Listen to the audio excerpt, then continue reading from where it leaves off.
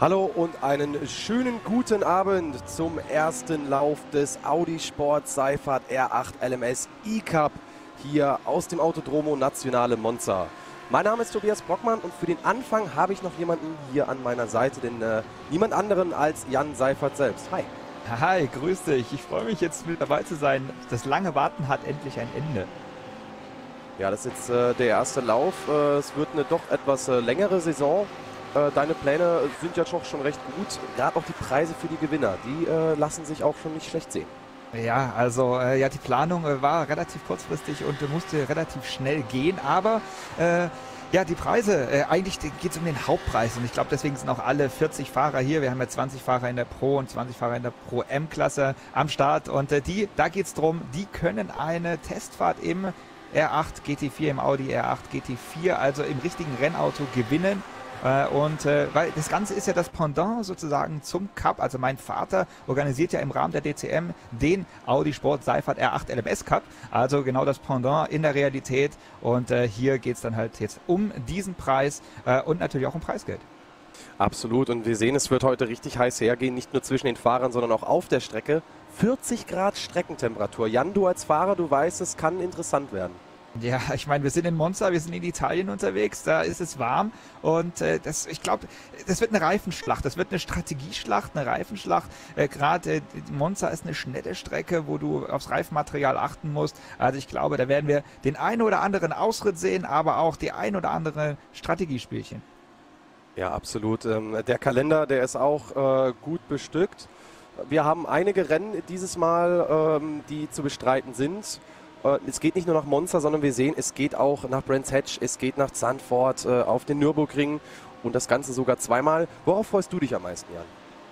Ich, ich, ich freue mich generell auf die komplette Saison. Also die äh, Saison ist halt äh, vollgepackt mit allem. Ich meine, wenn man guckt, Nürburgring Grand Prix Strecke Sunrise heißt also ähnlich wie Bathurst 12-Stunden-Rennen. Man fängt im äh, Sonnenaufgang an und fährt dann ins, in den Tag hinein. Oder wir machen ein Nachtrennen ins Spa. Äh, das verspricht Spannung ohne Ende. Und die Pre-Qualifying Sessions haben es ja auch schon gezeigt. Es ist einfach Spannung geboten, weil es gab ja zwei Sessions, äh, wo sich die Fahrer qualifiziert haben. Und ich meine, wir haben einfach mal 40 Autos innerhalb von einer Sekunde gehabt. Genau, und wir haben äh, das Ganze ja so, wir haben 20 Pro-Fahrer, 20 Pro-M-Fahrer, die sind auch bei uns auf, dem, äh, auf unserem Overlay ganz gut äh, zu erkennen, und zwar im Audi Rot, da sehen wir dann die Pro-Fahrer markiert mit ihren Startnummern und im klassischen Weiß äh, sehen wir dann die Farben der Pro-M-Klasse. Ja, wir haben noch eine Minute 30 Qualifying, die Zeiten sind gar nicht mal so schlecht, äh, die schnellste Zeit aktuell gefahren die haben wir hier im Bild von äh, Jonas Wallmeier 1,47,478. Ja, ich meine, es geht, es geht zur Sache. Äh, aber Monza äh, ist natürlich auch ein Windschattenspielchen. Ne? Jonas Wallmeier vom Pure Racing Team. Äh, die Jungs wissen natürlich, wie man das Spielchen betreibt. Äh, und äh, das hat man auch schon im Qualifying jetzt sehen können. Ich meine, wir haben uns natürlich die Session mit angeschaut. Und das ist aber Qualifying ist das eine, jetzt äh, packe ich mal die Phrase aus und im Rennen ist es das andere, weil äh, klar kannst du dich im Rennen abwechseln mit deinem Teamkollegen im Windschatten fahren, aber es kommt noch eine weitere Komponente dazu und das ist auch nicht unabsichtlich. Die Taktik, der Sprit. Also die Fahrer, es äh, kommen nicht mit einer Tankfüllung aus, wenn sie komplett durchfahren. Also das heißt, wenn sie komplett Vollgas durchfahren, schaffen sie es nicht. Sie können natürlich einen Pitstop machen, macht aber keinen Sinn, weil sie zu viel Zeit verlieren. Das heißt, sie müssen Sprit sparen, um die eine Stunde, die 60 Minuten komplett durchzukommen. Ja, das äh, könnte doch interessante Taktikspielchen geben, vor allem auch da wir Teams wie zum Beispiel das Pure Racing Team dabei haben oder auch Quanda, die mit mehr als zwei Fahrern an den Start gehen. Die können sich natürlich im Windschatten ziehen, die können äh, die Plätze abwechseln, wie man es ja schon vom Fahrradfahren kennt. Giro d'Italia ist ja auch im Moment. Also da sieht man solche Taktikspielchen ja auch. Und ich glaube, das wird auch hier in diesem Rennen interessant. Aber interessant wird es auch, wenn die Reifen ordentlich abbauen. Ja, ich, ich, bin mir echt mal gespannt. Du hast äh, zum Beispiel die Parabolika. Hier fahren, fahren wir gerade drauf zu auf die Parabolika. Äh, da hast du äh, pure Kräfte links außen, links hinten, links vorne. Hast du da komplett den Druck auf den Reifen drauf. Da hast du, da musst du einfach äh, klarkommen mit dem, mit dem Material, was du zur Verfügung hast. Ich meine, du kannst keine Reifen wechseln. Eine Stunde musst du komplett durchfahren. Aber du hast Pure angesprochen, du hast Coanda angesprochen. Wir haben noch so viele andere dabei. Wir haben Bila Racing Euronics mit dabei. Wir haben äh, viele eigene Fahrer dabei, die gar nicht in einem Team angehören, was natürlich, äh, was ich super gut finde, äh, perfekt. Äh, aber die können natürlich sich genau in diesen Windschatten auch wieder dranhängen. Es ist Spannung auf jeden Fall geboten und vergiss bitte nicht, wir haben zwei Schikanen da drin, die es komplett in sich haben. Also ich hoffe nicht, dass es ein Crash-Festival wird, aber ganz ehrlich, ich glaube, äh, es kommen nicht 40 ins Ziel. Ja, 40 ins Ziel kommen, das ist natürlich immer das Schönste, was es geben würde äh, aus Fahrerperspektive, aber ich glaube, äh, da hast du recht, das wird nicht passieren. Ja, du hast es erwähnt, andere Teams, zum Beispiel Sorg Rennsport Esports, William Jim Esports, äh, German Sim Racing sind dabei, aber zum Beispiel so ein Reinhard Hiebel, der fährt tatsächlich ganz allein, hat kein Team dabei, hat sich für die Pro-M-Kategorie platziert, Startnummer 777, für die, die ein Auge auf ihn werfen wollen. Ähm, wir sind jetzt aber erstmal an Bord von einem der Triton Racing Rally Shop PL-Fahrer, das ist nämlich Marcin. Äh, ich bin ja auch in Massin. Ähm, da sehen wir es jetzt auch schon. Pro fährt aktuell 1,37 und du siehst, wie es ordentlich schmiert auf der Strecke schon. Ja, du hast einige Quersteher von den Fahrern schon. Und äh, unsere polnischen Kollegen, also von Triton, die da am Start sind, äh, zwei polnische Kollegen, ähm, freue ich mich natürlich auch, dass die, die mit am Start sind. Äh, ja, wir, wir, wir, lassen uns jetzt mal überraschen. Ich meine, das Qualifying ist jetzt äh, vorbei. Wir haben jetzt erstmal die erste äh, Qualifikation hinter uns. Was natürlich auch spannend ist, wir starten als ein Feld. Das heißt, wir werden nicht das Feld aufteilen in Pro und Pro M, in der Wertung auf jeden Fall. Das wird natürlich auch für euch alle ersichtlich sein, dass man das auch im äh, Feed dann sieht in, in den Ergebnislisten. Aber der Start erfolgt als eine Gruppe hintereinander komplett, also durchgemischt. Und das spricht natürlich für Spannung pur, weil wenn du die Pro-Leute mit dem Pro M dazwischen hast, ja, und dann geht's auf die erste Schikane zu. Holla die Waldfee. Ja, wir haben ja gesehen, einer der äh, Pro-M-Fahrer, der mischt ja schon mit im vorderen Feld, habe, meine ich, gesehen zu haben, Top 10. Ähm, ja, was ist da so die Challenge, wenn du da mal so einen Pro-M-Fahrer hast, der im Pro-Feld startet? Ja, du, du hast halt die, die Pro-Leute, äh, sei es ein, ich meine, jetzt nehmen wir den Pro der Pros, äh, Maximilian Benecke, äh, der auch auf die Pro-Position gefahren ist, wie wir so schön sehen. Äh, der, der weiß natürlich ganz genau jeden Millimeter und Zentimeter, was er zu machen hat. Und hast du einen Pro-M, der vielleicht nicht ganz so äh, der Profi ist. Dazwischen, äh, das kann natürlich nach einer Stunde dann sehr spannend werden, wenn da vielleicht der ein oder andere Fehler sich einschleicht. Ja, das kann absolut sein. Und ich danke dir, Jan, und viel Spaß gleich in der Race Control. Wir gehen jetzt nämlich mal schon so langsam ins Grid. Ja, Platz 1, da startet, wie du schon erwähnt hattest, Maximilian Benecke aus dem Pure Racing Team. Jonas Wallmeier, auch aus dem Pure Racing Team, Top 2. Ja, da können schon die Windschattenspiele entstehen, aber dann wird das Ganze unterbrochen von Sven Hase aus dem Bieler Racing Team Euronics, das von der Legende Frank Bieler geführt wird. Jeremy Butelu ist dann auf Platz 4 für VRS Coanda Simsport. Mike Nürnberg, der äh, erste der beiden Sorgfahrer auf Platz 5. Ähm, der Pole Martin dann auf Platz 6. Christopher Dambitz hat es auf Platz 7 geschafft von Sorg Rennsport. Und dann kommt der äh, weitere Fahrer von ähm, äh, VS Commander Simsport, Tommy Ostgard, das auf Platz 8. Ja, unsere Top 10 wiederum, da haben wir schon den ersten der Pro-M-Fahrer, Tobias Hübeler, Bieler Racing Team Euronics, auch äh, dabei. Der äh, wird dann schon mal den Pros zeigen, wo der Hase wächst. So, Gregory Tenson, Top 10, Bieler Racing Team und Florian Beute, Williams Gym Esports. Danach kommt Tom Valentini von Williams Gym Esports. Also ähm, in dem Sinne schon ein großes, weites Feld. Äh, allein schon bei den, bei den Pros tatsächlich. Max Riedmüller als nächster Pro-M-Fahrer. Und äh, das ist tatsächlich doch dann interessant. Du hast es, wie gesagt, erwähnt, Jan. Da danke ich dir nochmal für deine Expertise, die du auf jeden Fall hast. Äh, Angelo Michel zum Beispiel von Team RSO, auch ein schneller Fahrer auf Platz 16.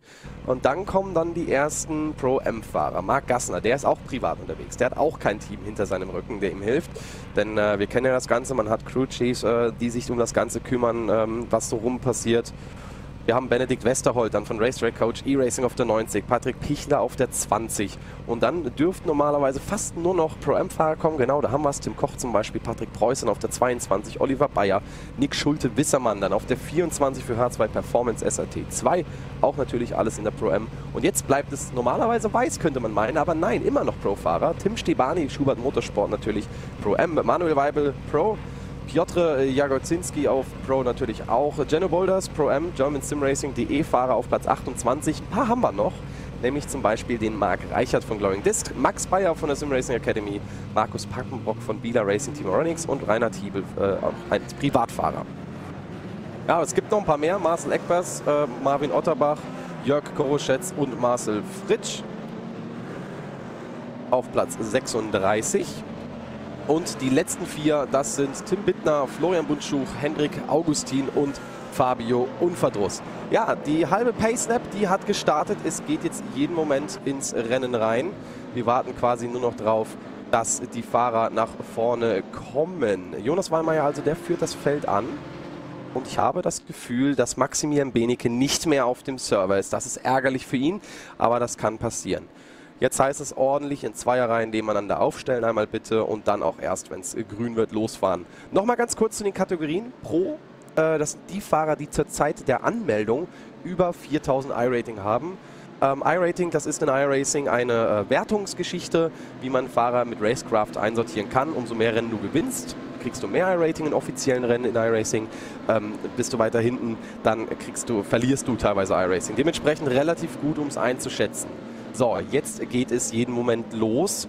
Wir warten darauf, dass das Pacecar nun in die Box fährt. Da biegt das Porsche Pacecar ab und wir warten jetzt nur noch auf die grüne Flagge. Jeden Moment geht es los. Der Audi Sport Seifert R8 LMS E-Cup ist hiermit eröffnet. Die grüne Flagge wurde gewunken. Jonas Wallmeier mit einem sehr, sehr guten Start weggekommen. Das Feld fächert sich schon gut auf. Weiter hinten auch breit. Großes Gemisch. Momentan kann Wallmeier da noch vorne dran ziehen, aber auch der nächste Sven Haase ist direkt natürlich dran. Der will auch vorbeikommen. Erste Schikane, immer so Knackpunkt und hinten kracht es ordentlich. Großer Unfall weiter hinten. Wir schauen gleich drauf. Startphase immer, immer sehr eng auf Monza. Da lässt man immer ein bisschen Carbon liegen. Aber aktuell Wallmeier, Hase, Butelu führen die Top 3 an und da löst es dann auch schon auf. Nürnberg konnte sich auf der 4 durchsetzen und hinten haben wir jemanden, der kann schon direkt aufgeben und das ist einer der polnischen Fahrer, der hier in die Box ist und zwar Piotr Jagocinski, der da einen Einschlag hatte. Eieiei. Immer wieder aufpassen, natürlich großes Feld, 40 Fahrzeuge, auch hier too wide durch die zweite Schikane durch teilweise. Da geht es hoch her hinten, ein anderer Coanda-Fahrer muss sich da durchsetzen. Oh, wieder neben der Strecke, aber alles noch einigermaßen sauber. Die Nummer 44, Tommy Osgard, muss sich da äh, gegen Christopher Dambitz durchsetzen. Kommt hier etwas von der Strecke runter. Ein großer Unfall hinten. Bila Racing hat sich da gedreht. Das ist Efkan Birkir, der Turkish National GT Champion in iRacing. Ärgerlich hat einen Schlag mitbekommen und es ging auch einer ins Kiesbett, wenn ich das gesehen habe, aber der konnte sich dann wohl wieder fangen. So, hier nochmal das Replay. Wir haben die Augen auf Birkir, kommen hier fast freewide durch. Der RSO-Fahrer ist die 69. Ja, Angelo Michel muss da weit gehen. Aber da kommt Birkir quer, da kann der Fahrer hinten dran nicht mehr ausweichen. Fährt ihn da in den Unterboden und das dürfte dann auch das Rennen für Birkir hier in diesem Punkt schon fast gewesen sein. Denn mit so viel Windschattenschaden äh, da noch hinten dran zu bleiben. Äh, die Schadensmodelle in iRacing, das wirkt sich immer sehr, sehr schnell auf die Aerodynamik aus.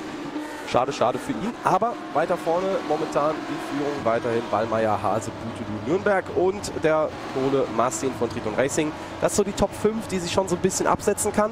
Danach die Kampfgruppe 6. bis 17. Platz. Die sind zusammen, das sehen wir hier im Bild. Dann haben wir Angelo Michel, Patrick Preuße zusammen und hier wieder den Rest 20 bis 25 auch. Alles in allem haben wir erst äh, ja, einen Großausfall, würde ich jetzt sagen, beziehungsweise natürlich noch das Auto von äh, Birke, was beschädigt ist. Rainer Tiepel wurde ein bisschen durchgerutscht, aber wir sind an Bord von Lubomir Schiebitz, der seinem Teamkollegen hinterher fährt. Links unsere schöne Grafik, wie viele Positionen gut gemacht wurden und verloren wurden. Also da muss ordentlich was verloren worden sein, denn da sind ein paar dabei, die Plätze gewonnen haben, aber ein paar, die verloren haben. Äh, Hüvel hat zum Beispiel zwei Plätze verloren, war ja einer der Pro-M-Fahrer in der Top 10. Aber muss ehrlich sagen, trotzdem stark, sich immer noch auf Platz 11 zu halten. Weiter sehen wir Weibel, der konnte ordentlich Platz gut machen durch die Pro-M, durch 11 Plätze. Damit also bisher der Gewinner der Startphase, muss ich sagen. Ordentlich gemacht, ordentlich durchgeführt. Der führende momentan im Bild allerdings ist auch eher unter Druck.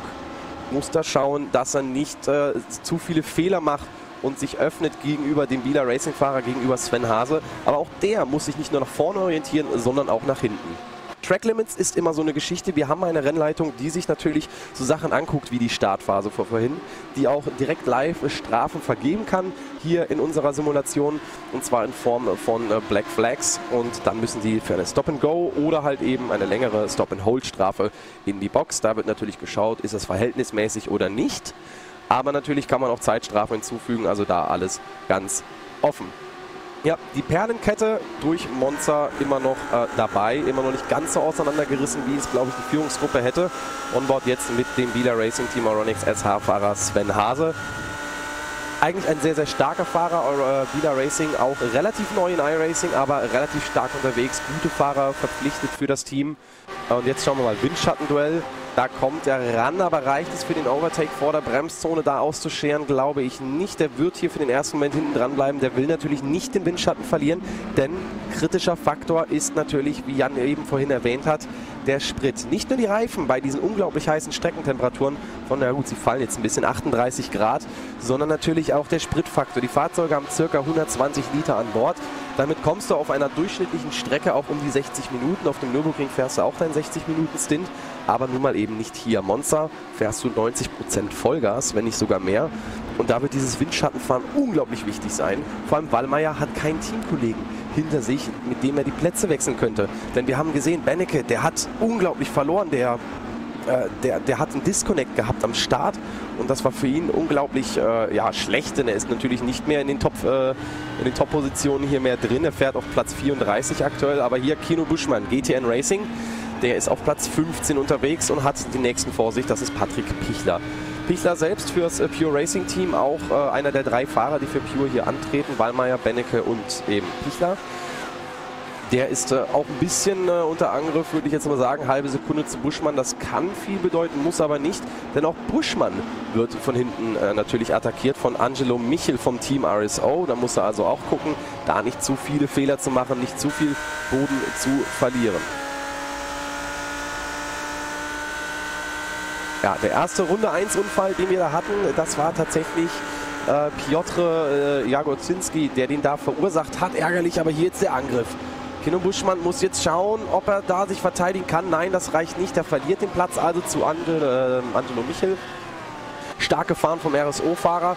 Äh, Runde 1 Incident. Äh, Piotr äh, wird nicht mehr geschaut, da er auch selber disconnected ist. Da wird eventuell im Nachgang Strafen verteilt. Hinten wird eine Divebomb versucht gegen den Sorg-Rennfahrer, aber noch einmal zurückgezogen. Wir wissen, hier auf Monza Windschatten ist unglaublich wichtig. Ähm, wir sehen es, es wird also kaum rausgezogen, es wird sehr viel hintereinander gefahren.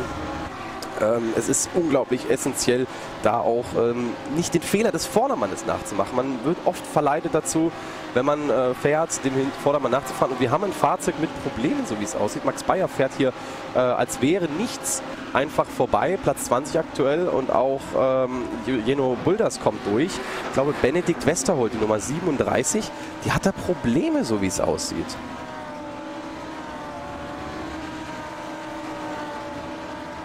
Ja, es wirkt, wirkt so, als hätte er tatsächlich Probleme am Fahrzeug. Nicht ganz so einfach, aber die Rennleitung, die schaut sich jetzt momentan Runde 2 erste Kurve an. Da war auch nochmal was Riedmüller, das war gegen Marc Gassner, der Nummer 15. Also auch da könnte es passieren, dass es da eventuell noch ein oder andere Strafen gibt. Aber zu dem Unfall vorne, oh, da wird hart über den Körper gefahren und hart über Skis. Da ist aktuell nichts. Und das ist jetzt der Kampf Pappenbrock gegen Koroschetz, beziehungsweise Koroschetz gegen Pappenbrock. Der Pro-M-Driver von Newman, der macht hier ordentlich Druck gegen einen der Pro-Fahrer von Bila Racing. Natürlich bringt es nichts in der Wertung der eigenen Klassen vorbeizufahren, aber man weiß ja, weiter vorne fahren ja noch andere Pro-M-Fahrer. Das heißt, man will die Pro-Fahrer natürlich aus der anderen Klasse jeweils nutzen, um an die eigenen ranzukommen, die weiter vorne fahren können. Fastest Lap aktuell, die hat noch tatsächlich äh, Maximilian Benecke jetzt gerade hingelegt, eine 1.47.747. Also sind wir tatsächlich auf Quali Speed jetzt schon. Jonas Wallmeier natürlich, der Pro-Fahrer, immer noch am Führen. Gregory Tenson, auch ein Fahrer vom Wieler Racing Team Euronics. Äh, weiter vorne im Feld, Platz 9, bisschen eingekesselt äh, zwischen den beiden Fahrern Florian Beute und Tom Valentini. Sieht optisch ganz gut aus. Wir haben ein bisschen, ja, das Blinken der Fahrzeuge liegt immer ein bisschen an den äh, Usern selbst, mit Verbindungsproblemen. Das ist so eine Sache, die hat man im echten Motorsport nicht. Da äh, gibt es andere Ausfälle, da gibt es Probleme wie, wie Getriebeprobleme, Reifenplatzer ähm, oder sonstiges. Und hier hat man eben noch zusätzlich den Punkt, dass halt auch einfach die persönliche Verbindung zu Hause ausfallen kann. Wir hatten schon Leute, denen ist der Strom ausgefallen beim Fahren, was natürlich super, super ärgerlich ist. Aber Tenzen aktuell 1,48,345, seine beste Runde, ist einigermaßen konstant unterwegs und hält sich natürlich vernünftig hier im Feld in der Perlenkette. Was ich glaube persönlich, was dieses Rennen hier angeht, ist die Tatsache, dass es sich jetzt am Anfang noch so ein bisschen entspannt ist. Es wird versucht, möglichst eng im Pulk zu fahren, möglichst eng beieinander zu bleiben, Windschatten mitnehmen und ganz entspannt fahren. Man hat hier und da immer wieder einen Ausbrecher, der mal rausfällt. Patrick Pichler fällt hier weit zurück, die Nummer 70. Ähm, werden wir weiterhin sehen, dass Marzin äh, fast schon versucht, in der Askari zu überholen, was natürlich nicht äh, ja, sinnvoll ist in dem Falle. Und wir haben ein beschädigtes Auto. Sehe ich gerade vorbeifahren. Und Patrick Pichler, der fährt da in der Ascari weit, muss raus aufs Kiesbett. Oh, das sieht nach einem größeren Schaden aus. Ja, damit für ihn das Rennen auch gelaufen. Bin mal gespannt, ob die Regie da noch was findet. Ähm, das war ein bisschen früher, meine ich. Ja. Gucken wir mal.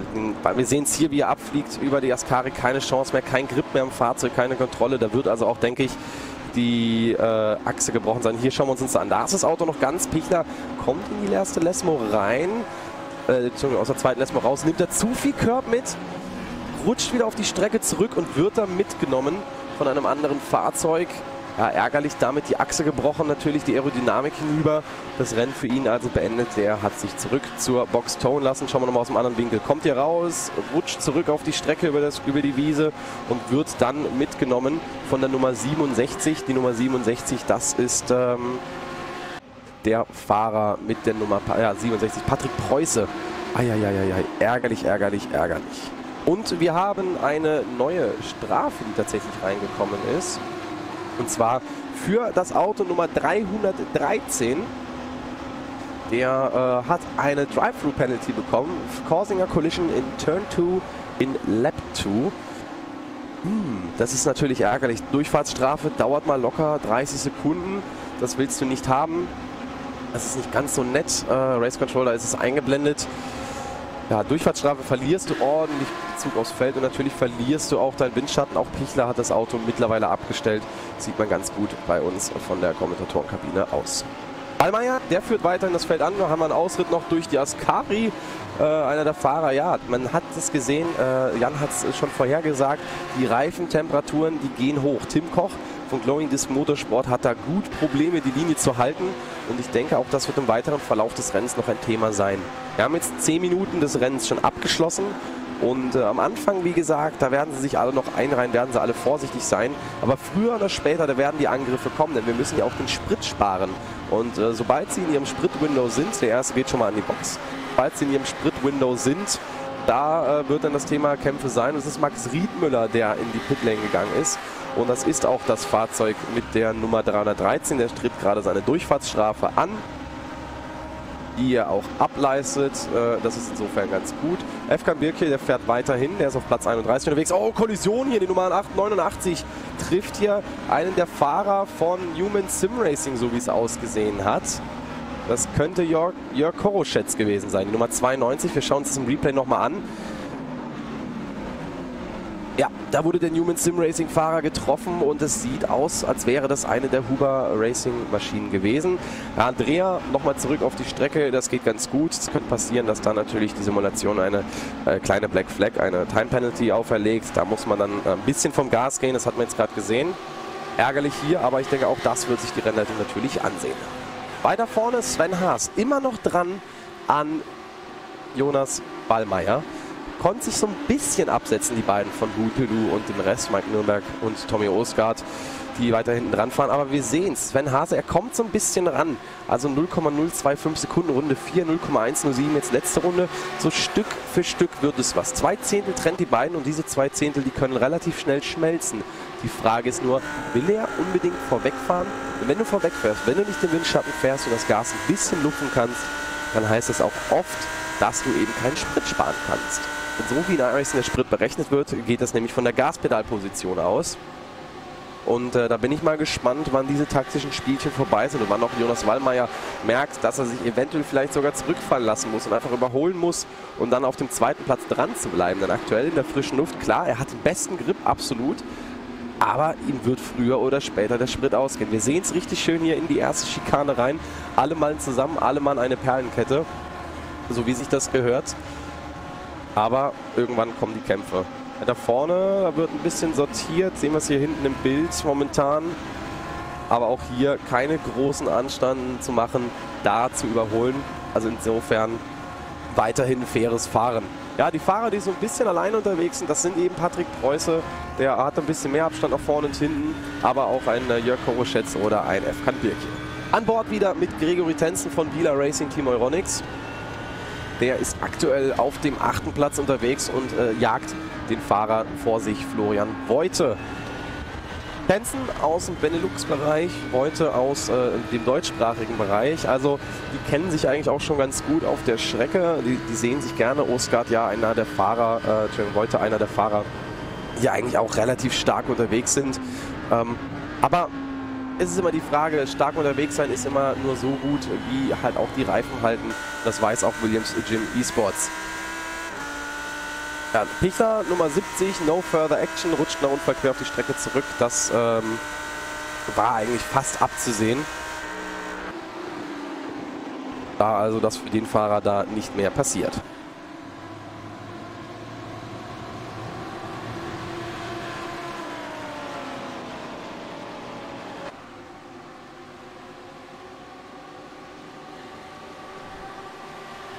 Bin jetzt einfach mal gespannt, 15 Minuten in die Renndistanz rein.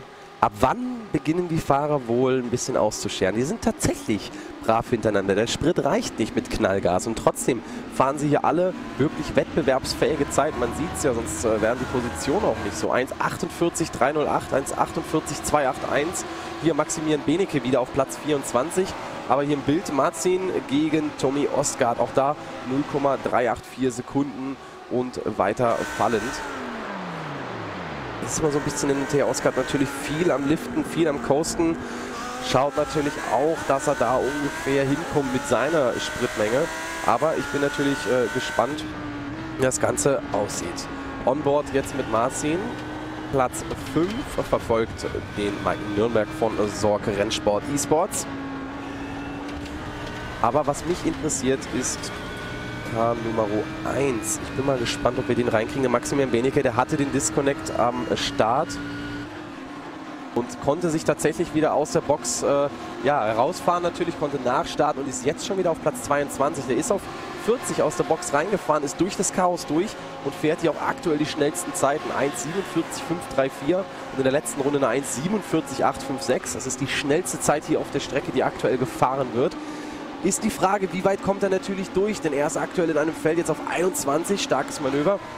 Man sieht es in dieser Runde, das Auto zeigt noch an, Platz 24, bis er über die Zeitschleife kommt. In dieser Runde allein drei Plätze gut gemacht. Absolut starkes Manöver. Er hätte eigentlich auf Platz 2 starten sollen, äh, was natürlich super, super ärgerlich ist. Denn äh, Disconnect oder natürlich ein Schaden am Auto vor dem Start oder sonst was, das ist nicht unbedingt das, was du sehen willst. Du hast dir schon bestimmte Vorstellung gemacht.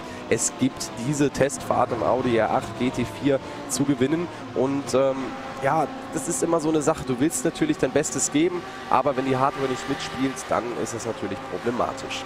Also weiterhin Benecke auf Kurs nach vorne und ich habe auch das Gefühl, dass auch er nicht am Sprit sparen sind. Zurück zu Patrick Preuße auf der Nummer, äh, mit der Startnummer 67. Einer der Pro-Fahrer von GermanSimRacing.de. Der verfolgt äh, seinen Teamkollegen, den Pro-M-Fahrer von GermanSimRacing.de. Natürlich andere Kategorie, aber ein gleiches Team. Und äh, im gleichen Team, da arbeitet man natürlich zusammen. Und das sehen wir hier auch ganz gut. Hier wird Windschatten gefahren, da wird nicht unnötig gepusht. Die beiden sind alle gut unterwegs und jagen da vorne, wenn ich das richtig sehe, den äh, Fahrer, nämlich, jetzt muss ich lügen, wenn ich es wüsste, das ist nämlich leider nicht, auf dem Zeitmonitor Max Bayer, Start Nummer 6, genau. Max Bayer eigentlich auch einer der Fahrer, die relativ stark dagegen halten können, aber wir gehen wieder zurück auf den Führenden, auf Jonas Wallmeier, der sich immer noch behaupten kann vor Sven Hase. Und jetzt ist auch die Frage, wann knicken bei Hase die Reifen ein? Wann knicken bei Butelu die Reifen ein? Denn äh, die Streckentemperatur, die fällt zwar stetig, aber wie gesagt immer noch 38 Grad. Die Trainingssession um, begann um 19 Uhr mit 44 Grad. Da sind natürlich viele Fahrer rausgefahren, um äh, das Gummi auf die Strecke zu legen, um eben der Strecke Grip zu geben, um zu schauen, dass es da auch, auch passt, selbst bei den heißen Temperaturen. Und das funktioniert natürlich sehr, sehr gut.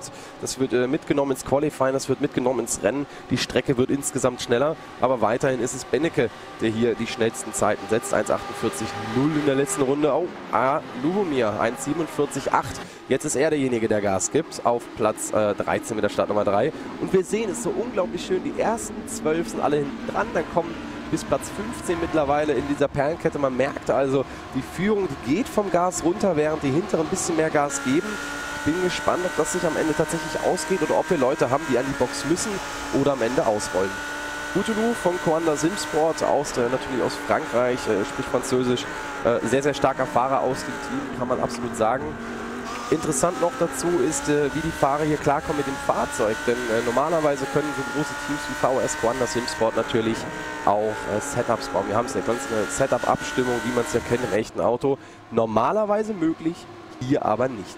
Denn im Audi Sport Cypher der 8 LMS E-Cup da gilt es, gibt es ein Baseline-Setup. Das Setup wird vorgegeben natürlich von äh, der Rennkommission. Das ist äh, ein Standard-Setup und äh, damit muss jeder fahren. Das heißt, es wird nichts eingestellt, außer vielleicht im Fahrzeug ein bisschen ABS oder natürlich Traktionskontrolle oder sonst etwas. Ansonsten haben alle die gleichen Voraussetzungen, nicht nur das gleiche Fahrzeug, nicht nur den gleichen Sprit, den gleichen Reifenhersteller, nein, sondern auch die gleichen Setup-Abstimmungen. Aber wir sehen wieder Hase, der fährt ein bisschen mehr Gas und drückt Wallmeier fast schon vorwärts. Die beiden immer noch mit einer kleinen Lücke zu dem Pulk hinten dran, der da fährt. Aber natürlich Butelu und Nürnberg aufmerksam, was vorne passiert.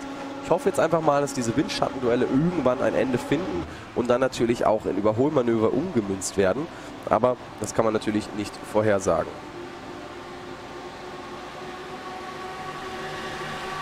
Ja, und es gibt von der Race Control tatsächlich eine äh, Warnung an alle Fahrer. Äh, und zwar betrifft das das Thema Track Limits. Das ist äh, immer, immer so eine Geschichte. Track Limits müssen eingehalten werden. Mindestens die Hälfte des Autos hier in dieser Simulation müssen äh, innerhalb der weißen Linie sein. Wir sehen es hier bei Hase Onboard im Audi. Äh, ist nicht immer der Fall. Also manchmal übertreiben es die Fahrer ein bisschen hier und da zu weit raus, ein bisschen zu viel Curb mitnehmen, komplett raus, alles nutzen, was sie können. Vor allem Ausgang Askari wird immer gerne sehr weit gefahren. Auch hier werden wir wahrscheinlich gleich sehen. Anbremszone, zweite Schikane. Ja, hier wird auch der Curb sehr, sehr viel mitgenommen. Auch außen wird immer sehr, sehr viel mitgenommen. Sie sehen wir Dafür gibt es sogenannte Incident Points. Die kann man sammeln. Also 4x quasi gibt einen Fahrzeugkontakt, der etwas härter ist. Ähm, 1x quasi ein Off-Track und 2x ein Dreher. Und wir haben hinten einen äh, Biederfahrer, der etwas geradeaus gegangen ist. Und das war Gregory Tenson die Nummer 52, die da mal den Abgang gemacht hat. Ja, ein bisschen übers Kiesbett rausgefahren. Ähm, hat die Kurve nicht ganz gekriegt, leichter Quersteher wohl auf den Hinterreifen gehabt und dann einmal ins Kiesbett gefahren, aber er fährt noch und das zeigt jetzt, die Reifen fangen langsam an, ans Limit zu gehen. Startnummer 239, Manuel Weibel, der konnte davon profitieren, denn Tenzen war vorher vor ihm und ist jetzt mit Kino Buschmann wieder äh, nach hinten gerutscht. Und auch Weibel muss jetzt aufpassen. Kino Buschmann, der setzt da die Attacke. Aber die Frage ist, reicht es hier vor der Kurve? Ja, sieht gut aus, setzt sich da innen rein. Ist die Frage, wer hat den besseren Grip, wer kommt im Speed besser raus? Ja, und es sieht so aus, als ob Kino Buschmann von GTN Racing da die Speed halten kann. Da kommen auch schon die Flashes von Weibel. Der will das natürlich damit nicht einverstanden und zieht sofort wieder raus. Also die Fahrer werden jetzt langsam nervös. Und wieder das Rücküberholmanöver oder setzt er sich hinten dran? Wer hat mehr Speed übrig? Natürlich setzt sich jetzt hier Buschmann nach innen. Reicht vorm Anbremsen nicht mehr. Damit also abgeschlossener Überholvorgang von Buschmann. Stark gefahren. Weibel muss da tatsächlich den kürzeren ziehen. Und weiter hinten sieht man dann auch schon Maximilian Bennecke, der nur noch auf Platz 17 ist. Der kommt also richtig, richtig, richtig ran. Ja, Bennecke stark unterwegs, nur noch 13 Sekunden bis zum Leader. Der gibt richtig Knallgas, der fährt auch Zeiten unter 1,48, also konstant in den 1,47ern drin. Uiuiui.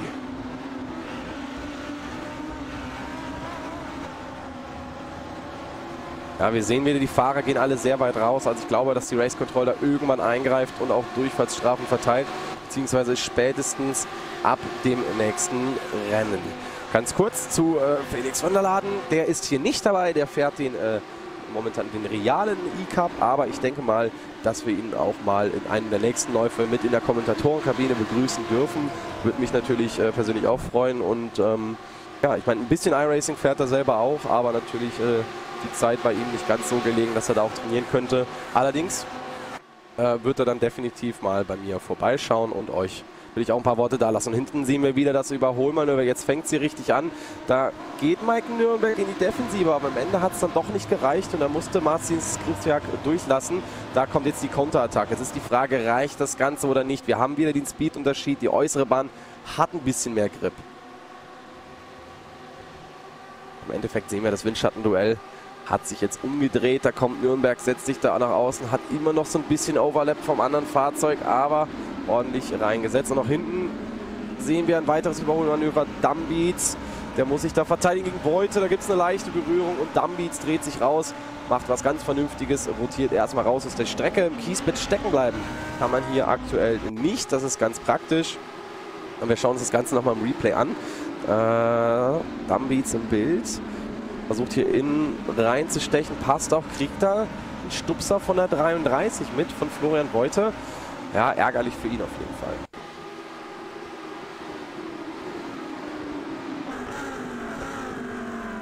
Was nochmal Onboard von Reuter. Kommt jetzt in der Stupser. Ja, war ein bisschen eng. Hätte man anders reagieren können von beiden Seiten. Aber auch hier die Race Control, die daran.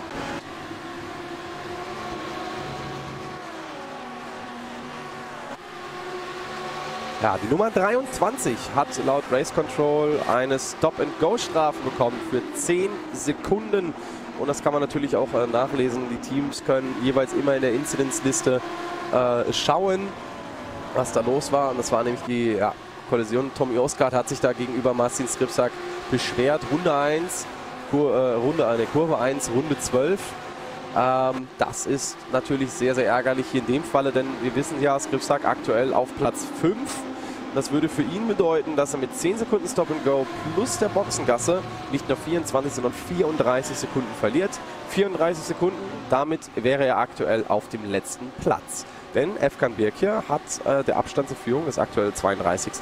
33 Sekunden. Und das ist für Skripsak, der hat jetzt drei Runden Zeit, diese Strafe anzutreten. Und der wird sich natürlich auch jetzt einmal ordentlich ins Lenkrad beißen, während wir hier sehen jetzt Osgard wieder im Kampf mit Skripsak, aber das weiß, glaube ich, nicht, dass er die Strafe bekommen hat, dass er hier nicht kämpfen braucht. Das ist ein bisschen unnötig, würde ich jetzt einfach mal sagen. Aber aktuell natürlich harter Kampf, harte Bandagen und Osgard weiß natürlich nicht, dass es da eine Strafe gab. Und wir haben auch direkt schon das nächste, was los ist. Also die, die Race Control, die versorgt uns natürlich ordentlich. Und das ist der Fall, den wir gerade eben hatten. Florian Beute gegen Christopher Damwitz ist under investigation die schauen sich das Ganze aktuell natürlich an.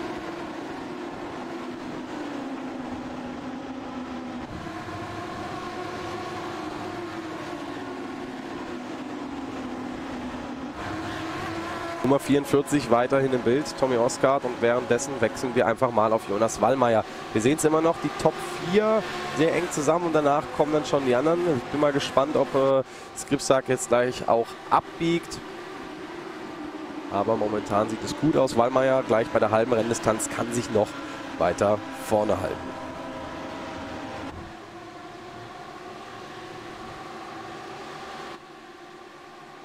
Ja, wir sehen es jetzt so langsam. Die Gruppe reißt ein bisschen auseinander. Wir haben so Top 14 zusammen. Dann haben wir Christopher Dambitz, der sich gegen Maximilian Bennecke hinten verteidigen muss.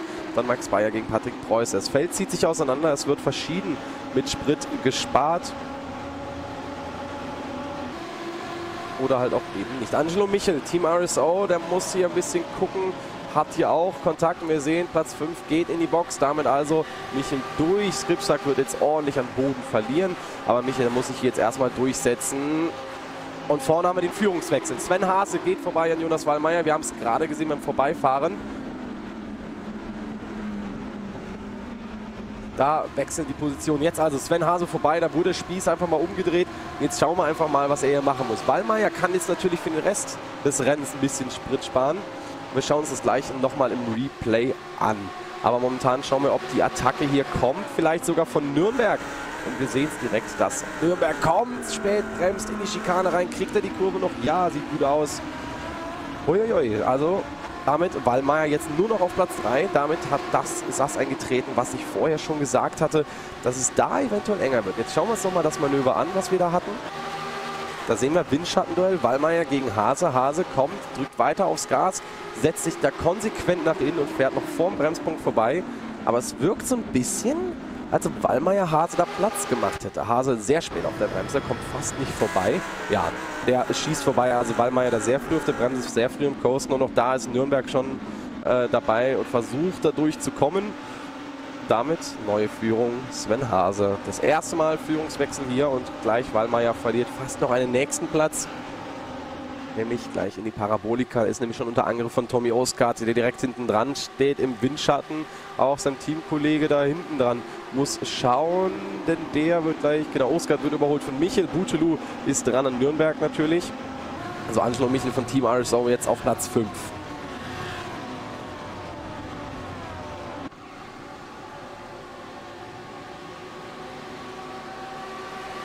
Ja, wir haben jetzt gesehen, so langsam ist die Geduld der Fahrer zu Ende.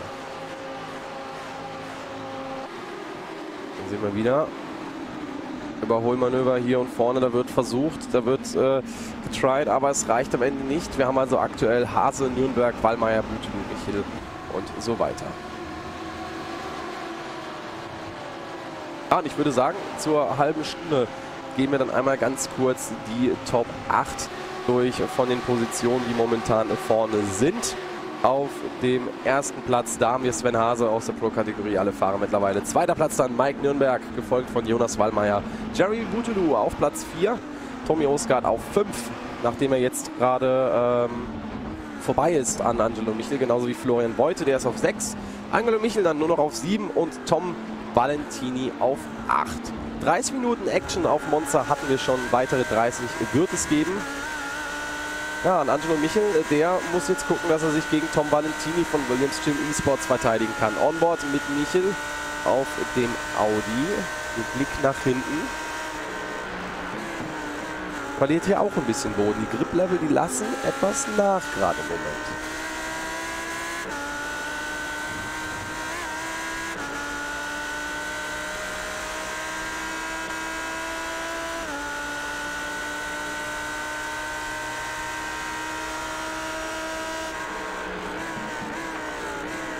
Anfahrt, Parabolika, Valentini, saubere Linie, ordentlich den Speed mitnehmen und ordentlich rausbeschleunigen, nimmt da außen ein bisschen was mit, fährt ordentlich über den Körper, denn die äußerste Linie, du willst natürlich so viel Speed mitnehmen, ähm, wie du willst. Äh, wir haben natürlich Fahrer wie zum Beispiel Otterbach, wie zum Beispiel Reichert, ähm,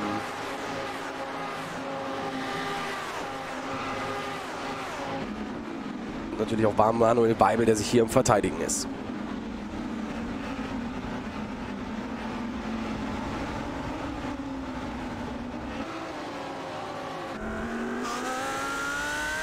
Wir sind on board mit äh, Max Bayer äh, von der Sim Racing Academy, beziehungsweise nein, wir sind on board mit Patrick Preuße, der hinter Max Bayer fährt von der Sim Racing Academy.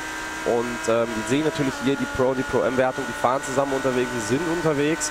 Wir haben einige Ausfälle, gerade in der Pro-M auch schon. Wir sehen es oben. Äh, Oliver Bayer, Tim Stipani, Rainer Fiebel, die alle schon 16 Runden zurück. Da also auch sehr, sehr ärgerlich für die. Aber Max Bayer gut dabei. Gesamtwertung auf Platz 16 und wir werden auch nach dem Rennen sehen, wie es insgesamt ausschaut. Aber er relativ stark unterwegs. Platz 16 nämlich innerhalb dieser Pro-Klasse unterwegs. Und auch Jenno Bilders, Platz 18 von GermanSimRacing.de, natürlich in der Pro-M-Klasse, nimmt hier ein bisschen viel Kiesback mit für meinen Geschmack. Also da auch Linientreue wichtig, wichtig hier, denn wir sehen es auch gleich wieder in Ascari, der wird auch sehr weit außen gefahren und da kann man sich dann diese Incident Points sammeln, die man nicht haben will. Man hat es erwähnt, es gibt zwischen 0 und 4x, so nennt sich das Ganze. Wir hier onboard gehen im Kampf Marvin Otterbach gegen Marc Reichert. Einer der Kämpfe in der Pro-M-Klasse, die doch noch interessanter werden können hier im Verlauf. Sonnige 26 Grad haben wir es hier auf dem Autodromo Nationale Monza. Strecke immer noch knackig heiß, mittlerweile allerdings schon 10 Grad weniger fast als im Training, noch 36 Grad Streckentemperatur. Wind geht auch einigermaßen 7 km/h, also auch nicht so der Faktor, aber wir sehen es, die Autos sind am Rutschen, die Autos ziehen weit raus. Muss man schon aufpassen, dass die sich da in der Parabolika nicht dreht oder am Ausgang eben von einer der Schikanen oder gar der Ascari, wo wir auch schon einen der Biederfahrer neben der Strecke gesehen haben dass sich auch da das Auto fast noch ein bisschen dabei beschädigt hat. Währenddessen Reichert versucht natürlich an Otterbach dran zu bleiben. Race Union gegen Glowing Disc Motorsport. Also Teams Race Union sind natürlich auch im echten Motorsport vertreten, haben dann irgendwann angefangen, auch eine E-Sports-Branche zu gründen. Das gleiche gibt es natürlich auch bei Sorg, Sorg Rennsport E-Sports ja auch. Hier der Kampf Sim Racing Academy gegen Human Sim Racing Blue. Marcel Fritsch muss sich da verteidigen vom Fabio Unverdruss der wohl, denke ich, hier äh, gut Plätze gut gemacht hat. Ist auf Platz 40 gestartet als letzter hier im Feld. Seine Zeit auf Monza nicht ganz so gut, war auch relativ alleine da unterwegs im Qualifying und kann jetzt erstmal zeigen, was er im Windschatten-Duell drauf hat. Elf Plätze gut gemacht bisher. Frage ist, werden es zwölf und die wird auch hier gleich beantwortet. Mit dem leicht rostigen Audi von Sim Racing Academy hier unterwegs. Unverdruss versucht natürlich schön ranzukommen an Marcel Fritsch. Marcel Fritsch, der muss auch aufpassen, der hat selber keinen Windschatten, der Newman-Fahrer. Er ist hier mit der Startnummer 7 unterwegs. Und äh, vielleicht mit etwas Glück kommt er an seinen Teamkollegen ran, der weiter vorne fährt mit der Startnummer 52, wenn ich das so richtig gesehen habe. Nee, Entschuldigung, nicht 52, sondern natürlich äh, 92 hier Koroschetz, aber ein bisschen abgeschlagen, kann nicht ganz dranbleiben.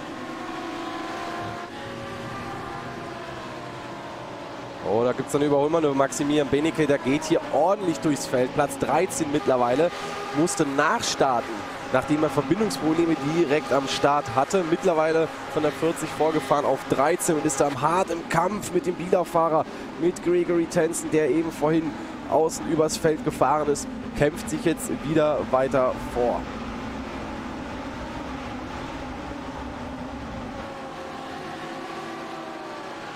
Aber auch hier die Frage, wie schaut es aus mit seinem Spritmanagement? Wie schaut es aus mit seinem Reifenmanagement? Der gibt so viel Gas.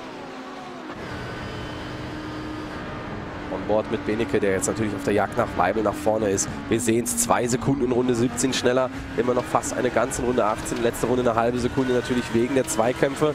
Manuel Weibel, der muss sich jetzt schon umschauen, der Team RSO-Fahrer. Wir sehen es hinten auf dem Heck, das blau-weiße Design natürlich PRT auch im blau-weißen Design unterwegs. Jetzt kommen wir durch die zweite Desmo durch. Auch hier schön sauber innen, mitnehmen, außen wird beide rausgefahren, teilweise ein bisschen übers Kies. Und jetzt schaut euch diesen Windschatten an. Also dieser Junge, der fährt hier wirklich mit Knallgas. Kann sich da innen reinsetzen, kann da versuchen durchzukommen und ich denke auch durch seine Art und Weise, er fährt sehr aggressiv, spät, bremst sehr, sehr spät. Das wissen natürlich auch die anderen Fahrer, die kennen ihn natürlich vom iRacing Service und da kann er sich vor Ascari noch vorsetzen auf Platz 12. Jetzt ist die Frage, 24 Minuten sind es noch bis zum Ende des Rennens. Wie weit kann Benecke vorfahren? Kann er tatsächlich noch die Gesamtführung an sich reißen oder eher nicht? Ist er doch in diesem großen Pulk zwischen Platz 5 und 15 unterwegs? Ja, gestoppt sollte normalerweise nicht werden. Wir haben hier eine schöne Start-Zielansicht. Sven Hase kommt durch, Mike Nürnberg wird durchkommen, Jonas Wallmeier und Jeremy Bouteloup Dahinter dann Tommy Oskart und Florian Beute, gefolgt von Angelo Michel, Tom Valentini und Hübeler.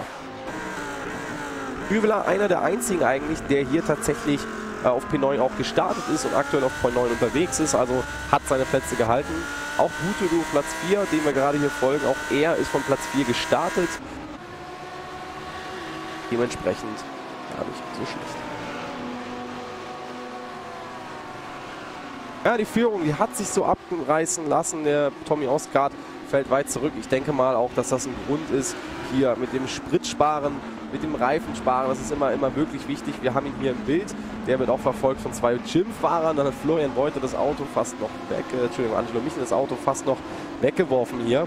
Das Startnummer 69 kommen hier immer sehr, sehr weit raus. Also ich bin mal gespannt, wann die Rennleitung da tatsächlich was macht gegen diese weiten Track Limits. Ähm, ja, fast schon äh, Auswüchse, die sie hier nehmen. Die Strecke schon fast verlängert, so wie wir auch fast die IndyCar gesehen haben auf Kota, auf Circuit of the Americas. Der ist ja auch ein bisschen, äh, bisschen weit rausgefahren. Die Linie sehr, sehr interessant dort genommen. Aber hier gilt natürlich zwischen den weißen Linien. Da ist die Strecke. Aber Bennecke, Platz 12, was kann er noch reißen? Trägt die Startnummer 1, sie durfte sich natürlich aussuchen. In der ersten Saison gilt das natürlich äh, noch nicht mit den Startnummern. Und äh, ich habe auch das Gefühl, dass das so ein leichter Anflug von, ähm, ja, so, so fast schon so ein bisschen, äh, hallo, ich bin hier, ich bin's, ich, ich zeige euch jetzt, was ich drauf habe mit der Nummer 1. Weiter vorne allerdings Nürnberg, der zeigt auch, was er drauf hat. Platz 2 mittlerweile, nachdem er ja Jonas Wallmeier überholt hat. Der allerdings wieder dran ist und natürlich wieder versucht zu überholen. Allerdings im Windschatten. Keine Chance für ihn. Steht da raus. Spät auf der Bremse. Auch Wallmeier damit wieder vorbei an Nürnberg. Und damit Nürnberg wieder nur auf dem dritten Podestplätzchen. Aber ich habe so das ganz leichte Gefühl, dass da noch nicht alles vorbei ist. Und vor allem Butudu hinten dran, der schaut sich das erstmal noch ein bisschen an. Er wartet, glaube ich, noch so ein bisschen ab denn er ist der Einzige der da tatsächlich äh, noch keine großen Manöver probiert hat hier in diesem Fall.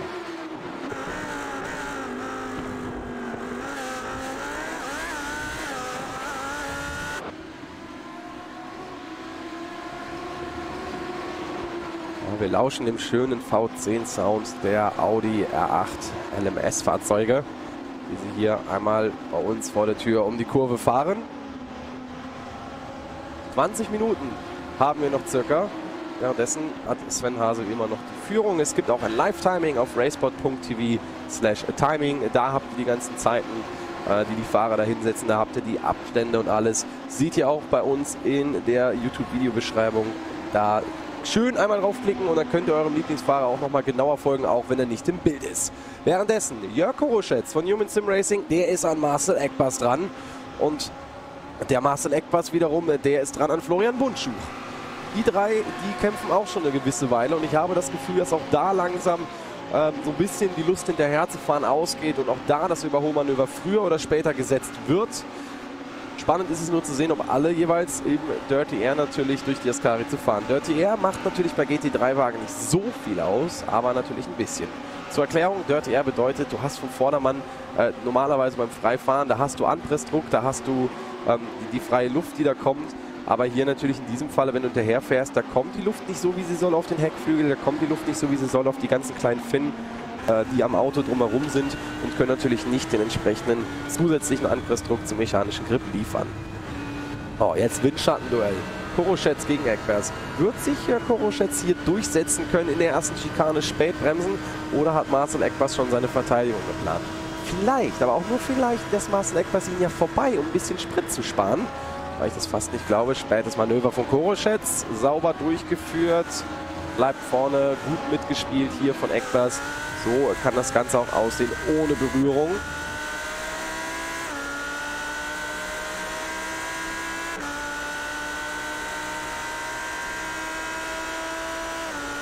Damit Eckpass jetzt auf 27.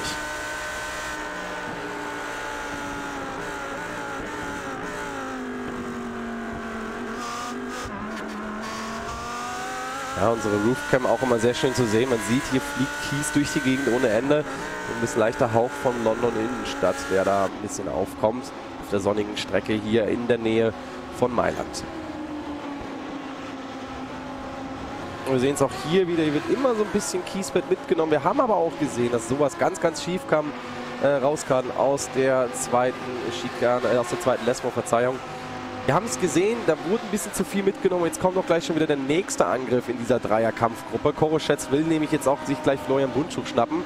Aber wir schauen uns mal gleich an, was vorne weiter abgeht. 92 also Koroschetz, der schnappt sich jetzt Bundschuch jeden Moment mit der Startnummer 88. Und ich denke, das passiert entweder jetzt gleich in der Parabolika oder spätestens in der ersten Kurve. Ja, Koroschetz, gut Überschuss, zieht raus. Ungefähr hier kommt jetzt die Bremszone, 100 Meter Schild setzt sich nach innen. Die Frage ist aber, reicht es? Ja, es reicht. Und jetzt muss natürlich auch Bundschuh aufpassen, denn Eckpass, der wird jetzt auch ordentlich Überschuss haben. Also in der Parabolika, da willst du nicht überholt werden. Oh, da wird ordentlich zugemacht. Da will natürlich im Windschatten geblieben werden. Und jetzt hat Bundschuh natürlich äh, Eckpass nur die Möglichkeit, hier außen in den Angriff zu gehen. Und jetzt, oh, Free White wollt ihr das wirklich probieren? Ich bin mir nicht ganz so sicher, dass das funktioniert. Ja, da geht Eckpass auch ein bisschen vom Gas. Das will er nicht ganz so riskieren, denn in der ersten Schikane geparkt kriegst du vielleicht drei nebeneinander, aber in dem Speed, in dem die Jungs hier unterwegs sind, um die 120 km/h, langsamste Punkt vielleicht 80 km/h, ja, es ist dann doch ein bisschen enger, vor allem mit der optimalen Linie und wirkt es dann fast schon eher, als würdest du einen Bus fahren, so wie du das Lenkrad drehen musst.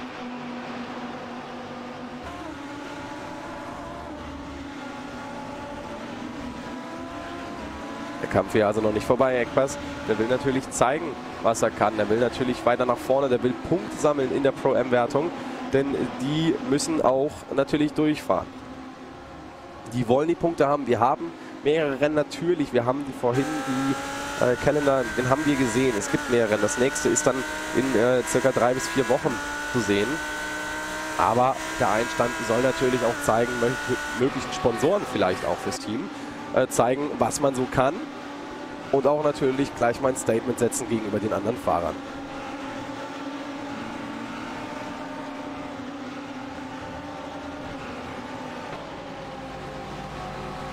Ja, und wen haben wir hier im Bild? Maximilian Benecke. Der ist mittlerweile auf Platz 8. Also unglaublich, was der hier mal treibt. Auf 1 hätte er starten sollen. Ist dann leider disconnected, schnell wieder zurück in die Simulation, schnell wieder hinter das Steuer und legt hier gerade eine unglaubliche Hatz und eine unglaubliche Jagd wieder auf die Führung hin.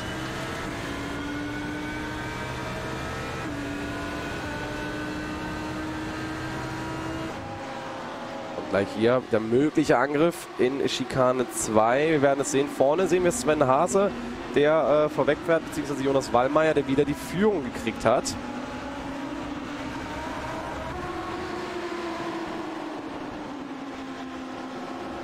Sehen jetzt die Nummer 3 und die Nummer 239 sind under investigation. Das sind äh, Lubimir Schiewitz und Manuel Weibel. Da gab es wohl eine Situation, die sich natürlich angeschaut wird von der Rennleitung.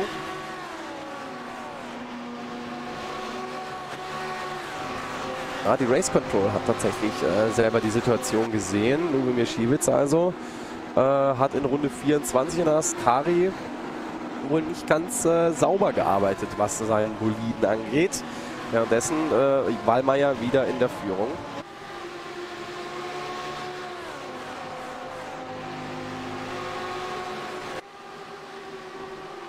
Konnte sich diese Runde wieder den Platz nehmen von Sven Hase, der jetzt auch wieder aufpassen muss in Nürnberg. Der schaut weiterhin zu und auch Butelu. Die beiden, die gucken sich das Ganze noch so ein bisschen an, warten noch auf ihren Moment und jetzt so in den letzten 15 Minuten müsste es losgehen, so langsam, was das Ganze angeht. Es müsste langsam anfangen, hier äh, sein Statement eben zu setzen, zu zeigen, dass man eben äh, die Sache hat gegen Platz 1. Zu zeigen, dass man die Speed auch hat, um hinterherzukommen. Und hinten dran dann die Kampfgruppe mit Tommy Oscar und Maximilian Benecke.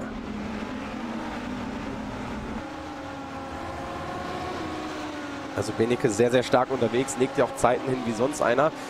1,47,284, wie gesagt, wir sehen es oben, Fast Slap von ihm.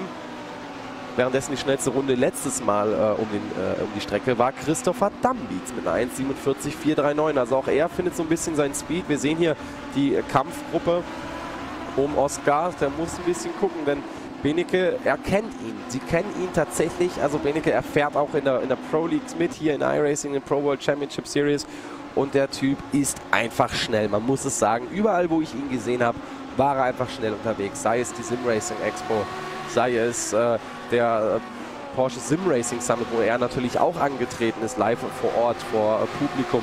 Da kommt der Angriff vor der Ascari jetzt eventuell. Ja, er setzt sich innen rein. Wir wissen, Benecke, der bremst hier sehr spät. Da lässt natürlich Oskatz ein bisschen Luft, denn er will natürlich auch sauber durchkommen. Aber Benecke damit durch und damit freie Fahrt nach vorne. Drei Sekunden hat er jetzt Abstand auf Jeremy Butulu, auf den nächsten VHS Quanda Sim Sportwagen. 13 Minuten Zeit hat er jetzt, um die Führung eventuell noch an sich zu reißen. Es wird, glaube ich, schwierig für ihn, keine Top 3 zu erfahren, wenn jetzt alles für ihn läuft, wobei er natürlich jetzt keine Windschatten mehr hat. Er muss jetzt frei fahren, er muss schauen, dass er von hinten keine Attacke kriegt. Und vor allem muss er schauen, dass sein Sprit und seine Reifen auch durchhalten bis zum Schluss, denn wir haben es vorhin erwähnt, es reicht nicht ganz, das komplette Rennen durch Vollgas zu geben. Und es reicht auch nicht ganz, äh, die Reifen immer komplett zu verschleißen bei 40 bis jetzt mittlerweile 34 Grad Celsius. Ja, natürlich, äh, Benecke auch im Audi Crack ist natürlich auch in der GT500, in der Digital GT500 den Audi gefahren, hatte damit gewonnen auf dem Nürburgring, aber damit wissen wir, ist auch, glaube ich, einer der einzigen Fahrer äh, mit äh, um die, ja, mit 10.000 I-Rating. Also der Junge, der hat richtig Dampf. Jetzt mal als Beispiel. Äh, sehr, sehr hohes I-Rating doch schon. Also ist die Bewertung äh, bei iRacing sehr, sehr hoch. Ist schon 8.291 von Jonas Wallmeier. Aber Benecke, der hat 10.000. Das Durchschnitt übrigens, das Durchschnittsfeld hier hat 4.238. Das ist also auch der Durchschnitt zwischen dem höchsten und dem niedrigsten, den wir hier haben. Oh, da geht er ein bisschen weiter, hoppelt er über das Gras, fängt sich aber nochmal. Das Auto hätte hier sehr, sehr stark ausbrechen können. Das wäre fast die Chance gewesen für Oscar, da nochmal zurückzuschlagen. Benecke also sichtlich unter Druck. Die Reifen, die hier auch sichtlich einbrechen. Bei Maximilian Benecke gerade.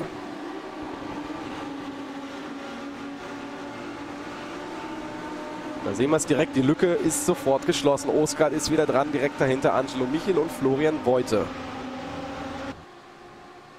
Währenddessen hat die Startnummer 3 eine Stop-and-Go-Strafe bekommen, die auch schon abgeleistet wurde. Das war eben Lubomir Schiewitz und zwar hatte die bekommen ähm, für Causing a Collision laut Rennleitung. Ja, mega ärgerlich, Stop-and-Go willst du nicht unbedingt haben. Äh, reinfangen, kurz stehen bleiben, wieder losfahren, da verlierst du mehr als nur diese 23 Sekunden Pit-Time. Und wir haben hier wieder den Kampf um die Führung.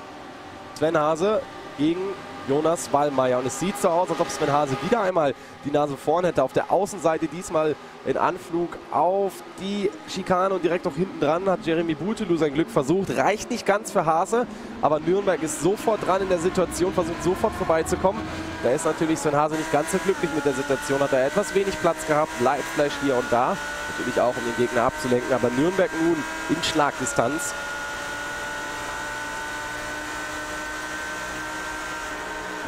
Oh, da kommt wieder der Angriff von Hase auf der Außenseite, wird wieder nicht reichen, macht aber ordentlich Druck. Und dieser Zeitverlust im Zweikampf, den man natürlich immer hat, das könnte jetzt bedeuten, denn er kommt nicht ganz so gut aus der Kurve raus, dass Nürnberg jetzt hier gleich seine Chance ist. Oh, da wird aber hier viel hin und her gefahren. Da muss er ein bisschen aufpassen, dass sich da die Race Control nicht eventuell drauf stützt und äh, da ein bisschen mal was anmerkt, was dieses Hin- und Herfahren angeht. Dieses Verteidigen über mehrere Linien ist eigentlich nicht so ganz gesehen. Auch hier wieder sehr weit raus. Man merkt also, Hase, der ist absolut am Limit. Ja, Nürnberg sichtlich entrüstet aktuell.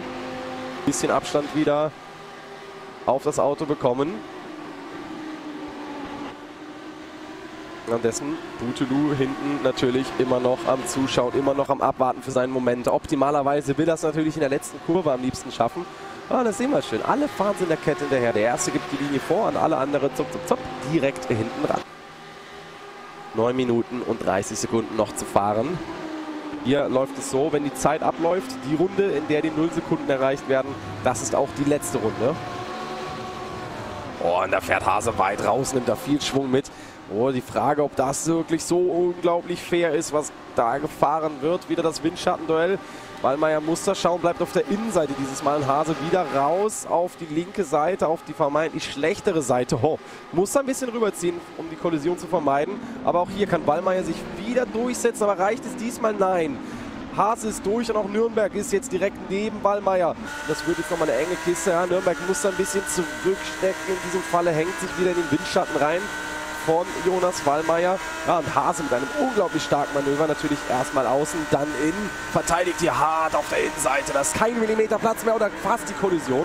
Leichter Berührer. Das wäre ein wirklich massiver Abschuss geworden mit sehr, sehr hoher Geschwindigkeit, dass diese beiden Fahrzeuge definitiv auf den Fahrzeugfriedhof geschickt hätte.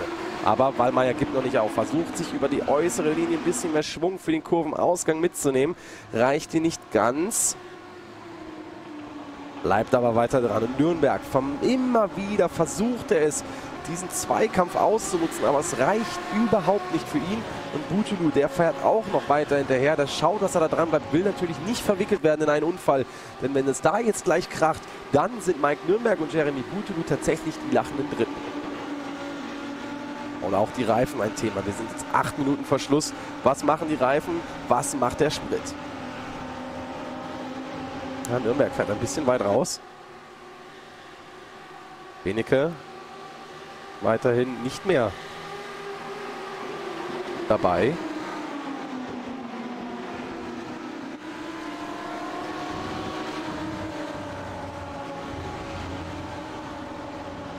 Fünfter Platz, der kommt also auch gleich in diesen Zweikampf rein. 1,6 Sekunden noch. Da hinten sehen wir ihn. Ja, wenn die da vorne weiterhin solche Zweikämpfe machen oder drei oder sogar vier Kämpfe, denn jetzt kommt auch noch der Angriff von Butelu. Setzt sich hier neben Mike Nürnberg und auch Wallmeier versucht es wieder. Zweimal zwei ist vier und Butelu kann sich da auch durchsetzen, macht jetzt zu für Nürnberg. Nürnberg die bessere Linie, mehr Grip. Natürlich jetzt erstmal Butelu auf der Innenseite und Wallmeier und Hase, die bleiben nebeneinander. In Richtung zweite Schikane. Natürlich Hase auf der etwas besseren Seite aktuell. Aber wenn Wallmeier dranbleiben kann, hat er die Innenseite für sich. Genauso Nürnberg. Und da macht Hase Knaller zu. Zwingt Wallmeier hier auf die Außenseite. Oh, leichte Kollision zwischen Nürnberg und Butulu, aber alles im grünen Bereich. Auch zwischen den beiden ist noch nicht alles ausgesprochen, denn jetzt denkt sich Jeremy Butulu, jetzt ist genug, jetzt nehme ich mir die Position, kann sich erstmal vorsetzen, hat ja einen leichten Quersteher, kann sich aber noch fangen und damit Benike jetzt absolut dran am Feld.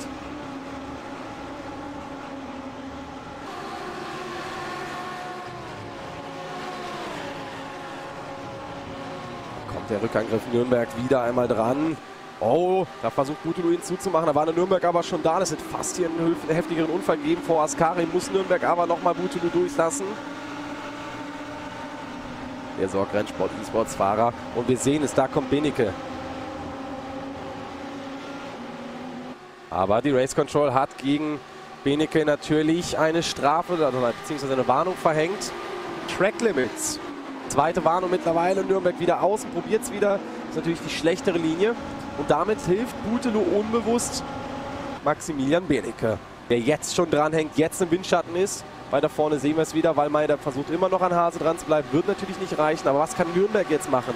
Der auf der Innenseite ist, jedenfalls in dem ersten Teil der Schikane.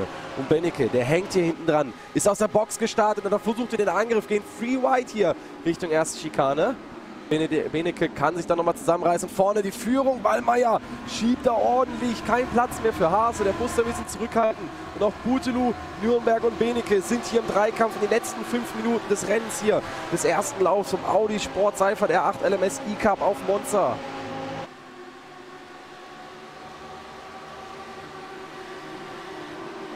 Ordentlich unterwegs. Butelu immer noch vor Benecke, denn der greift jetzt natürlich auch hart an. Nürnberg schneidet ihm da so ein bisschen den Weg ab. Natürlich alle Fahrer hier in Racing Seats unterwegs und dann haben wir jetzt weiter in den Kampf. Und da kommt jetzt Benecke, da kommt Benecke und zeigt Butelu, wo hier sein Audi steht, verweist ihn jetzt auf den Platz.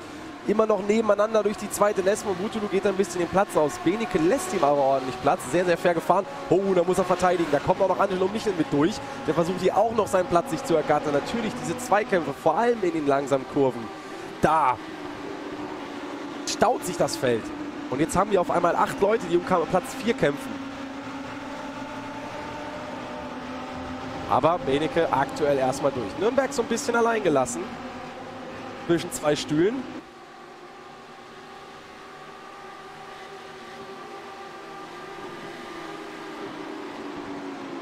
Das Fingernägel kauen der Teamchefs greift immer mehr um sich. Denn jetzt kommt auch Angelo Michel mit der Attacke auf Butelu hier bei den Pros. Da geht es ordentlich rund hier vorne. Kann sich Michel durchsetzen und hat Butelu mehr Speed. Natürlich Michel jetzt im Windschatten von Benecke vor ihm.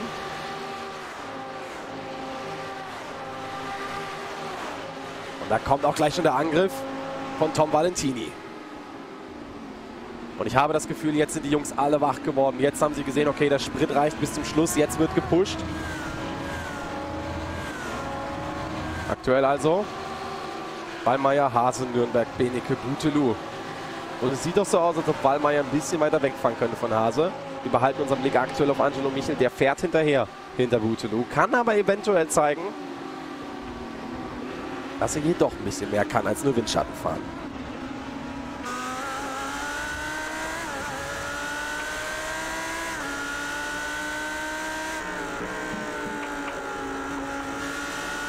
Wir sind on board mit der Nummer 8 von Jeremy Butelu im VRS Squander Simsport Audi. Nicht alles Audi.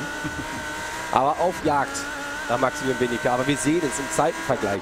Keine Chance, da auch nur irgendwie hinterherzukommen im Long Run. Muss natürlich hoffen auf Fehler von Benecke.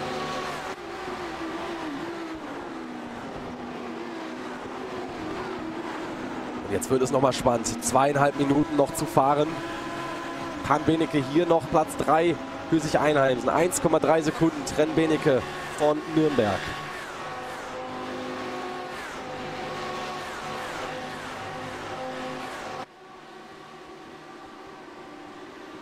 Oh, spät hier gebremst von Butelu. Sehr, sehr spät. Schaffte die Kurve trotzdem noch sehr, sehr sauber hier. Nimmt ordentlich Speed mit raus, außer Parabolika.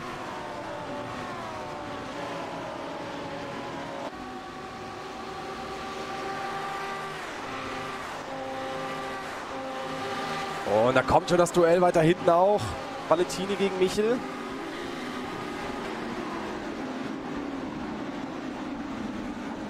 Oh, Valentini gegen Michel. Michel hält hart dagegen, ist jetzt auf der besseren Seite, sieht gut aus. Valentini wird ein bisschen rausgedrängt. Natürlich immer noch fair gehalten, da war genug Platz. Jetzt wird es nochmal eng. Windschattenduell. Richtung zweite Schikane. Später Anbremspunkt direkt unter dem Tunnel.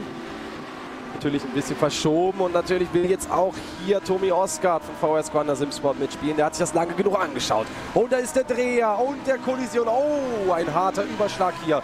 Schwerer Unfall. Beide Williams Gym Esports Fahrzeuge betroffen und natürlich Quanda Simsport, der da wohl etwas bisschen viel wollte, den inneren Radkasten hinten getroffen hat. Das ist natürlich absolut ärgerlich. Damit der Kampf für Osgard natürlich erstmal beendet. Wir haben auch hier ein beschädigtes Auto langsam neben der Strecke und das ist ein Schubert Motorsportwagen. Währenddessen die Führung weiterhin. Ja, Osgard, Platz 11. Und da vorne steht das Fahrzeug von Schubert Motorsport, so wie es aussieht. Stellen das Fahrzeug ab. Ärgerlich.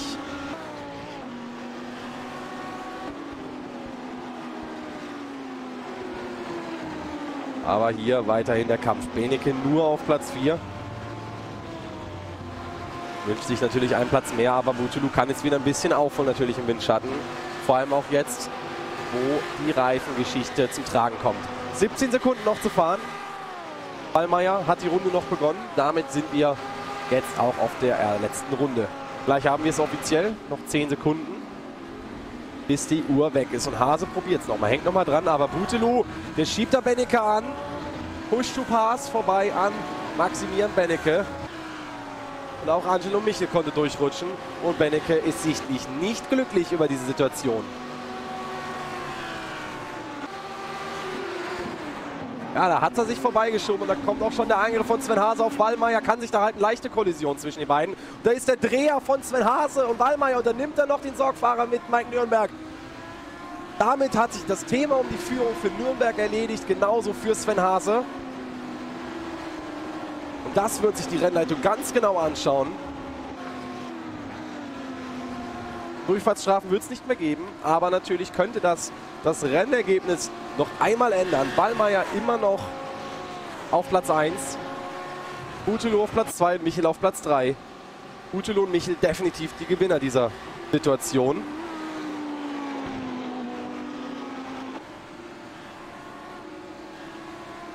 Noch die 22 kriegt nochmal eine Stop-and-Go-Strafe. Aber wir bleiben auf Wallmeier. Wir sehen im Hintergrund Bennecke, hängt an Michel dran. Hat er vielleicht noch die Möglichkeit, auf Platz 3 vorzukommen? Währenddessen aber Jonas Wallmeier kommt noch einmal um die Kurve, noch einmal über Start und Ziel. Und damit ist Jonas Wallmeier der erste Sieger im ersten Rennen des Audi Sport Seifert R8 LMSI Cup vor Jeremy Butelu, Angelo Michel und Maximilian Benecke. Für den hat es nur gereicht für Platz 4. Ja, Gregory Tenz und Tobias Hübeler, die kommen auf den Plätzen 5 und 6 ins Ziel. Sven Hase rettet es noch auf den siebten. Dann es natürlich vorgekommen auf 8 und für Mike Nürnberg reicht es gerade mal noch für eine Top-10-Position. Was für ein Rennende hier. In den letzten 5 Minuten war fast mehr los als in den ersten 20. Aber gehen wir zu den Rennergebnissen. Natürlich aktuell noch unofficial bis die Rennleitung sich entschieden habt. Die Ergebnisse findet ihr dann, die endgültigen, auf audi r8-ik.eu. Jonas Wallmeier also der Sieger in der Pro-Kategorie. Tobias Hübeler von Bieler Racing der Sieger in der Pro-M-Kategorie.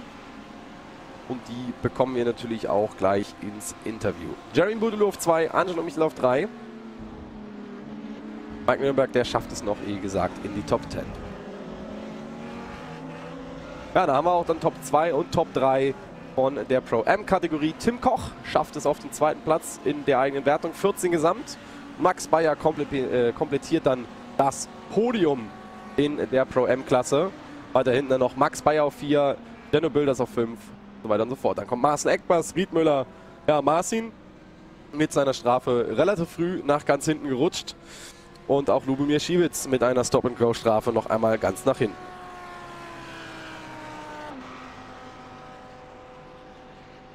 Und da sehen wir dann noch Platz 30 bis 40.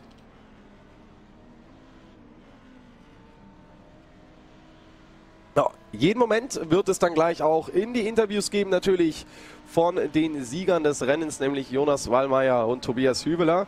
Gleich mal schauen, ob ich die Jungs auch finde. Und den ersten haben wir auch schon da. Hi Jonas.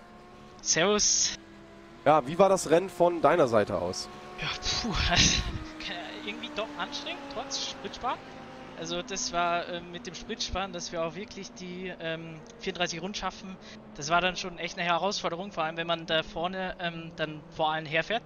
Deswegen, das war schon sehr anstrengend und dann kam halt auch die Überholmanöver dazu.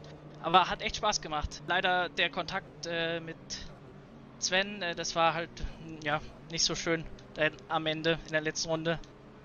Aber sonst war ein tolles Rennen. Ja, also das Rennen äh, war unglaublich taktisch, glaube ich, ähm, die da äh, im Endeffekt dann unterwegs waren. Äh, aber ja, zu dieser, zu dieser Kollision, die du da hattest, äh, ich würde jetzt fast sagen, was, ja, wie, wie ist das passiert da in der Schikane? Ja, also der Sven hat halt sehr optimistisch äh, reingehalten und war dann neben mir, hat mich dann leider ein bisschen weggedrängt. Ich war halt dann noch für, die, für den zweiten Körper auch daneben und ja, ich, ich würde sagen, er hat ein bisschen zu früh eingelenkt, wobei das äh, guckt sich sicher die Race Control an.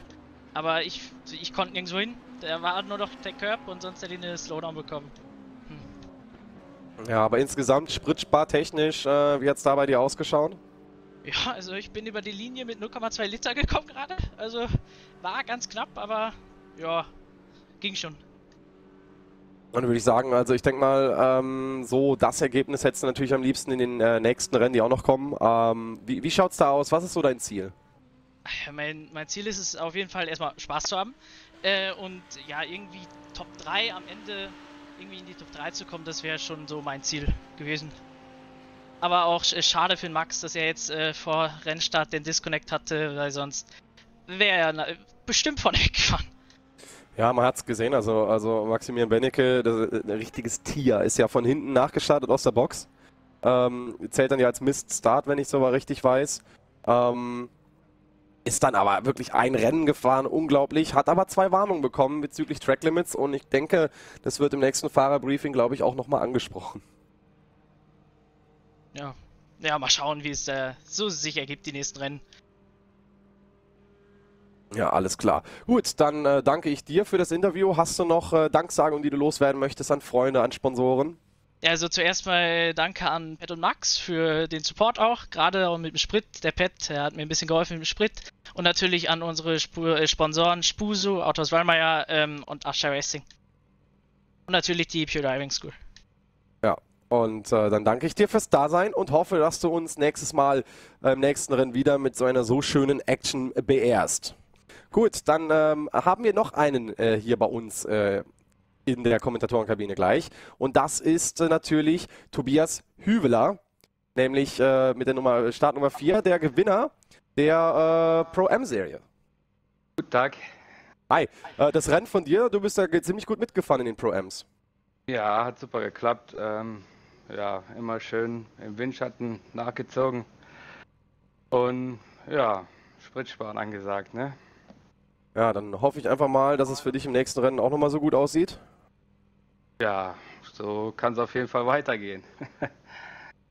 ja, dann wünsche ich dir auch viel Erfolg im nächsten Rennen. Äh, bist da relativ gut durchgekommen mit allem. Äh, deine Voraussicht natürlich wieder erster Platz in der Pro-M-Wertung, denke ich mal. Ja, natürlich, natürlich.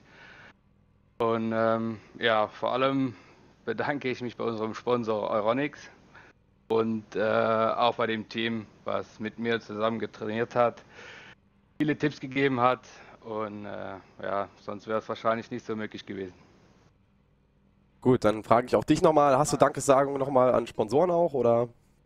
Ja, vor allem ähm, Euronics und äh, auch iArt. Das sind unsere zwei Sponsoren, denen wir danken möchten.